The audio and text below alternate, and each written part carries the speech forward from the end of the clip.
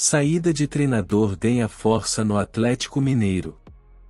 Para se manter atualizado sobre as novidades do Atlético Mineiro, é importante que você se inscreva no canal, ative as notificações e deixe sua curtida.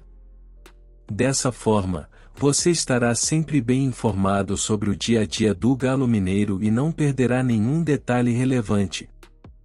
A saída do técnico argentino Eduardo Coudet do Atlético Mineiro vem ganhando força nos bastidores do clube. Após alguns atritos e críticas mais recentes por parte do treinador, a diretoria alvinegra está considerando a possibilidade de uma mudança no comando técnico da equipe. Dentre os possíveis nomes cogitados para assumir o Atlético Mineiro, o de Dorival Júnior vem ganhando destaque.